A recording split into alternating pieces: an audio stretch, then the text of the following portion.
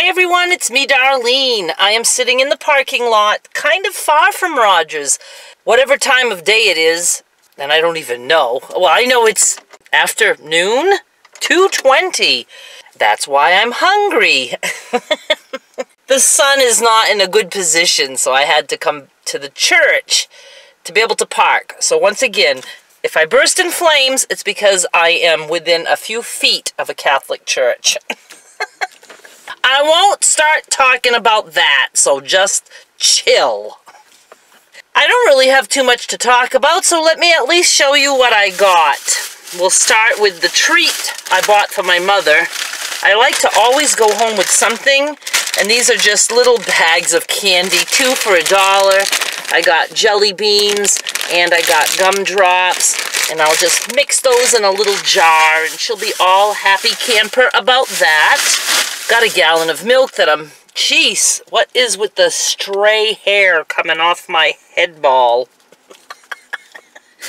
I got a gallon of milk. I'm going to show you the gallon of milk. But I will show you the haddock, and I think I'm going to have some haddock for lunch. I got two nice big pieces of haddock, which is a white fish, flaky. Absolutely love it. $6.99 a pound, as always.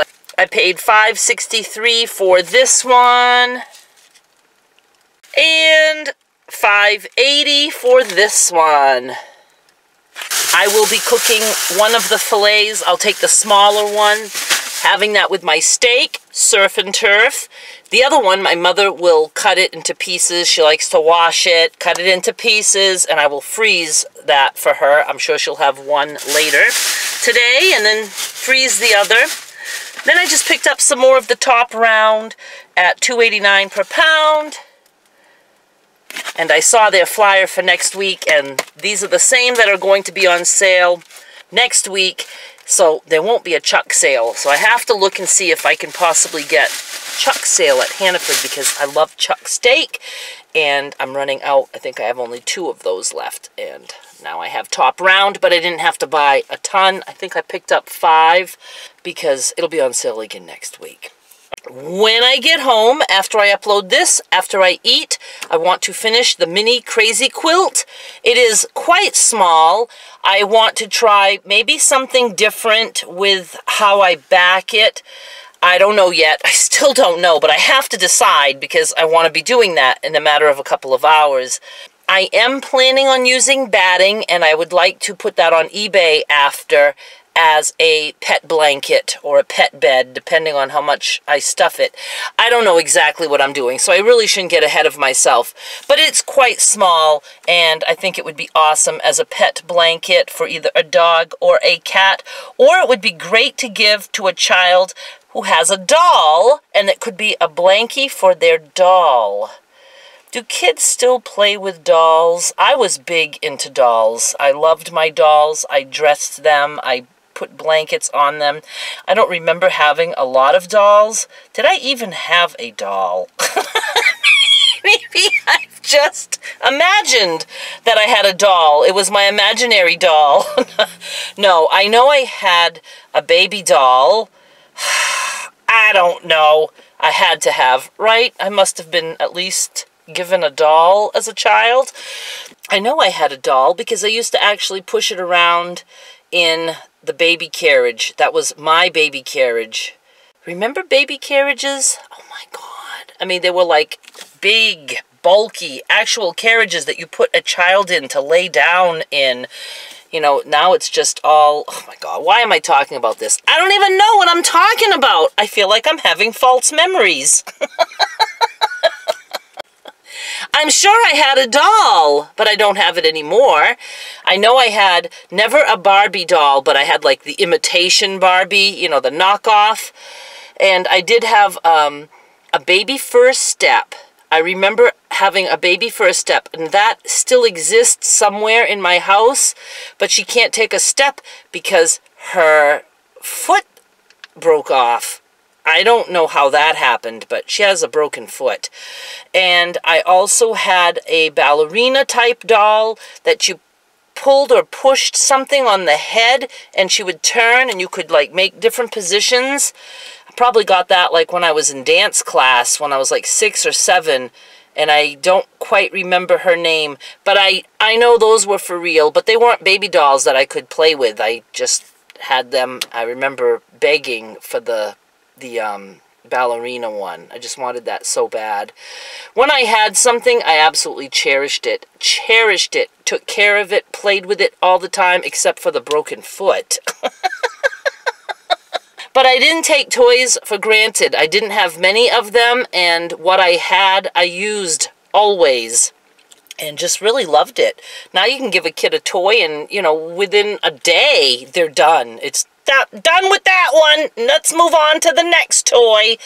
But not when I was a kid, and um, I'm sure not when most of you watching were kids either. I think we're from a generation that we didn't have a whole lot, and we certainly appreciated the toys that we had. And we learned to play with things that weren't even toys. You know, you could give me a wooden spoon and I would somehow turn it into a toy. I don't know.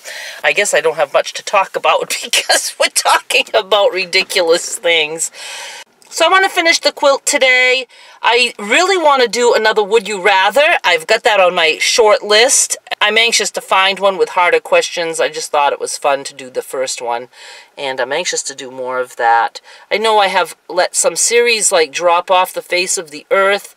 It doesn't mean that I'm not going back to them. It just means that I'm having a hard time. Like with upcycled fashions, I just, you know, I go through stages where I feel so creative, and then I go through stages where it's like, do I even know how to sew? I, you know, I just, I don't know, I lose my creativity, but it comes back.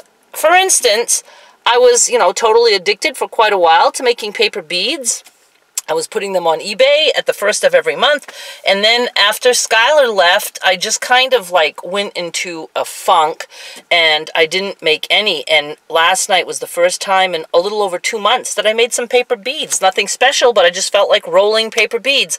So I'm glad that I'll probably be getting back into that. I don't know if I'll be selling little sets of paper beads on eBay, but I certainly need to get rid of paper beads if I'm going back to that addiction.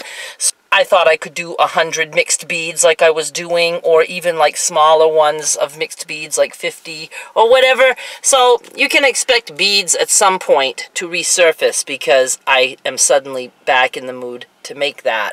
So what I'm saying is my love for things does come back. It just, they take a break for a while and then they come back. The other thing that I'm struggling with is embellishing those quilt blocks. Both upcycle fashions and the quilt blocks, they are things that I love to do and I would love to do them, but the thing is, is that they're very time consuming, especially, especially the upcycled fashions. So it's like, I think, oh, I'd love to do that, but I need a video quick, so I'm going to do this instead. Just makes it hard to balance it all. The sun is frigging hot on my face. Don't like, don't like the sun. I don't like the feeling of it on my skin. I don't like the heat of it. I can always find so many things to complain about. I don't actually even see it as complaining. I just see it as my truth.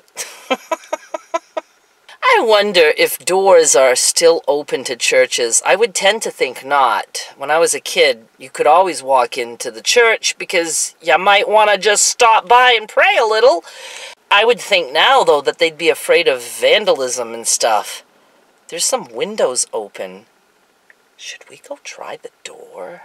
Would that be weird? What if somebody's in there? They might think I want help. because you could go into a church, at least my old St. Ignatius church, I mean, you could go in and there'd be absolutely no priest or anything. I mean, there might be somebody else praying somewhere, but you could just sit and think or do whatever you wanted. But it would be foolish to leave doors open now if the church is completely unattended. I would think that people could go in there and just be vandals or...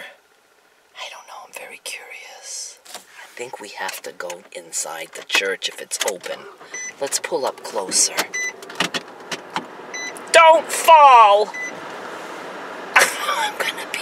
I'm gonna be pulling up like all of like 10 feet. What a long ride I just took you on. We're here. oh my God. Let's go see. I feel like a tourist. This is the church. 1959 is the date, and I was born in 60. And I know I've mentioned before that even though this church is in the town I lived in, it wasn't our parish, so I only was ever in this church a handful of times in my life. Let's see.